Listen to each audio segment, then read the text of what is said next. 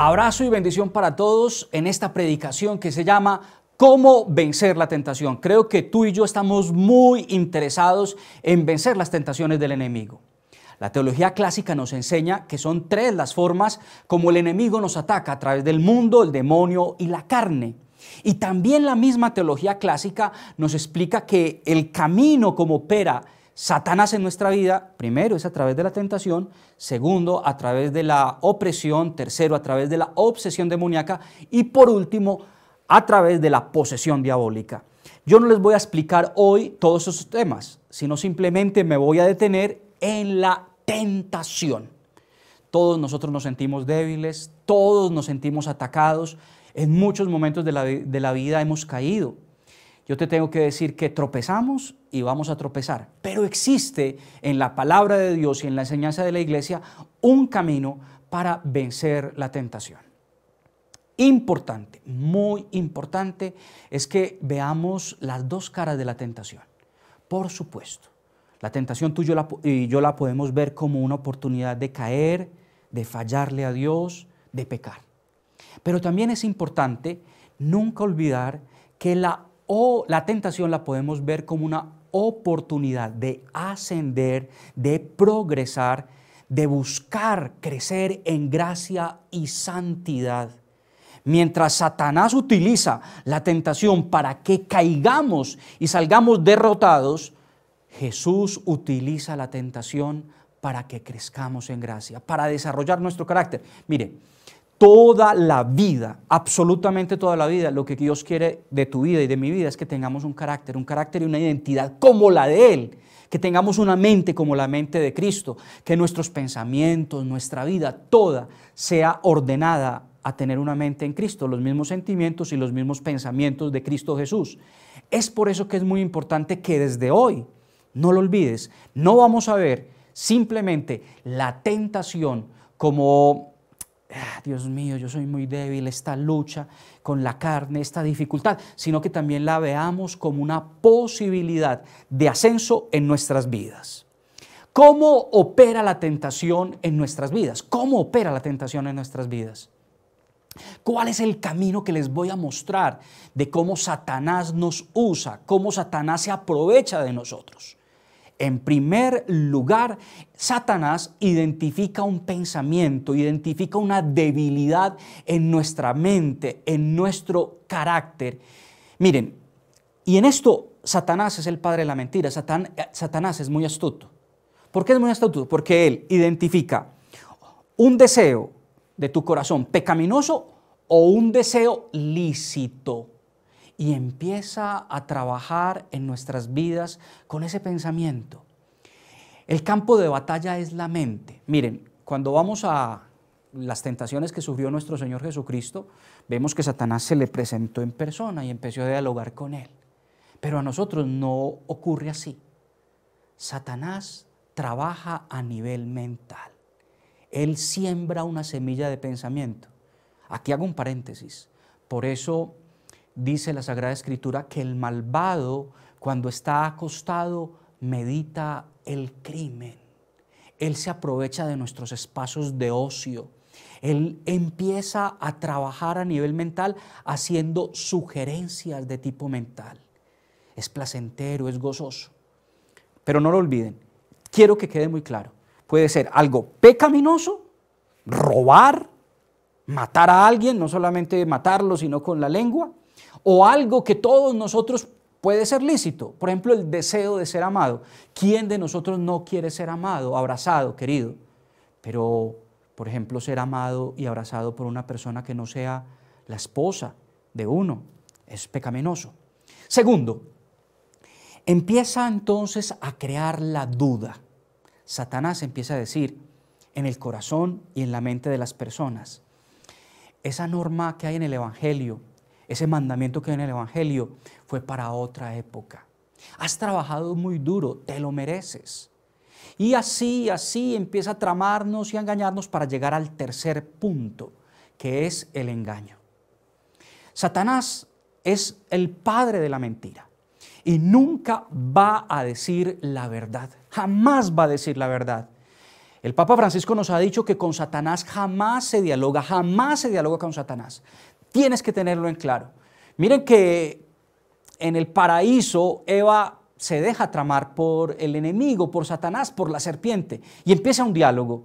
Y el diálogo de Satanás es mentiroso, él engaña. Primero le dice, ¿qué les dijo Dios? Que no pueden comer de ningún árbol. Y ella empieza a explicarle, no, podemos comer de todos los árboles, solamente de uno que está en el centro del Edén no pueden comer. Segundo, ¿verdad que les dijo que no morirán? No, Él nos dijo que si comemos y moriremos. El padre del engaño de la argucia. Él tiene siempre la capacidad de hacernos sentir como, como aterrados. Es muy importante conocer este camino que Satanás usa en nuestras vidas, el camino del engaño. Y por último, el cuarto paso, viene la desobediencia. La desobediencia. Lo que empezó como un pensamiento en un momento de ocio, lo que pensó como algo agradable, placentero, que iba a ser para nuestra vida, termina convirtiéndose en una desobediencia.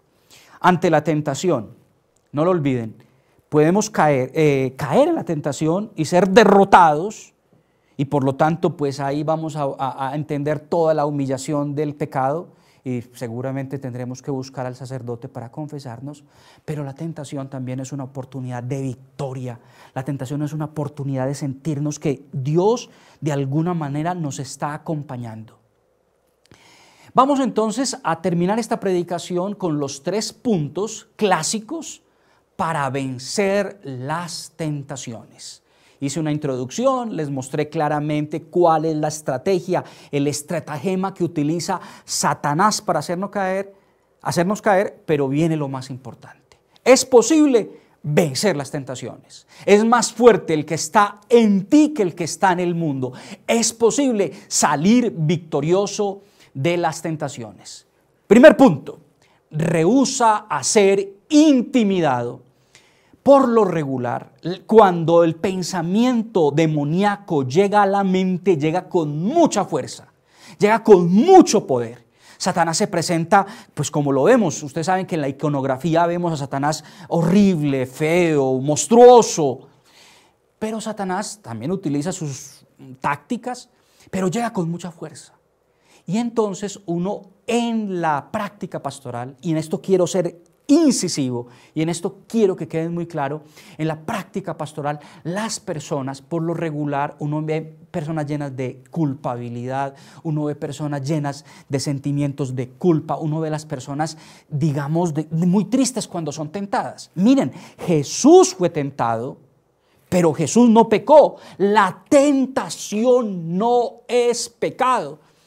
Les pido en el nombre de Jesús, no se dejen comer cuento por Satanás, que aparece como un gigante. La palabra de Dios nos dice que es más fuerte, San Juan, es más fuerte el que está en nosotros que el que está en el mundo. Y por lo tanto, mentalidad de vencedores, mentalidad de guerreros, no mentalidad, perdónenme la palabra que voy a decir, pero mentalidad como de apachurrados, de vencidos. No, venga, si estoy siendo tentado, wow, al que, al que ya cayó, al que ya está en las manos del enemigo, al que es un pecador, digamos, ya entregado a la vida de pecado, ni siquiera es tentado.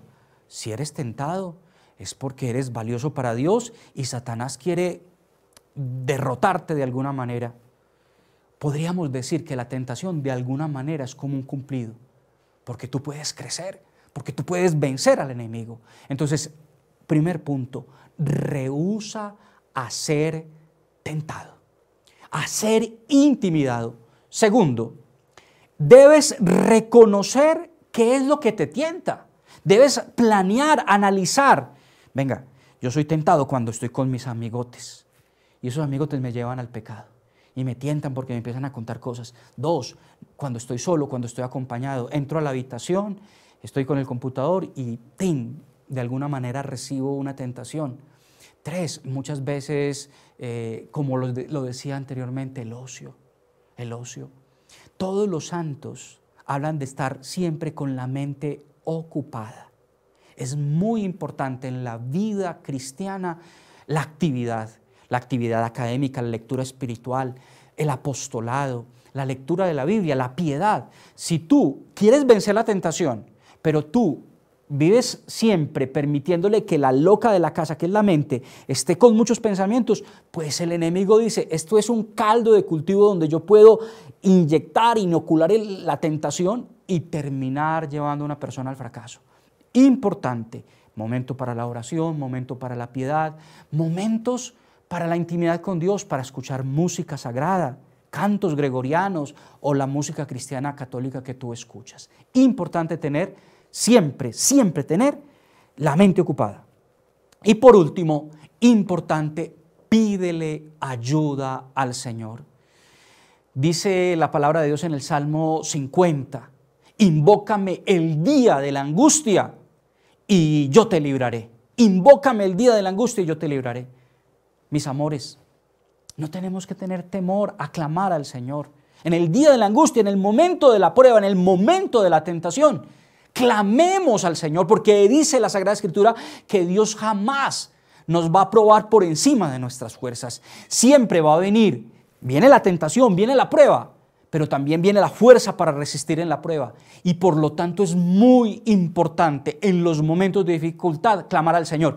Mucho cuidado, se está también viendo, yo a veces veo en las comunidades católicas, en las comunidades en las que ustedes pertenecen, como un sentimiento de que venga, es que si caes y, le pides perdón al Señor, pues estás jugando de alguna manera con la misericordia. Y caes y caes y sigues confesándote.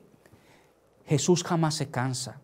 Jesús nos conoce y sabe que fuimos creados de barro. Si 200 veces debes de alguna manera pedirle al Señor perdón y ayuda, 200 veces Él va a estar atento para darte la mano, para levantarte, para guiarte en tu vida. No lo olviden, tres puntos para vencer las tentaciones. Primero, rehúsa a ser intimidado. Segundo, reconoce lo que tienta. Y tercero, clama, pídele ayuda al Señor. Él siempre vendrá en tu auxilio.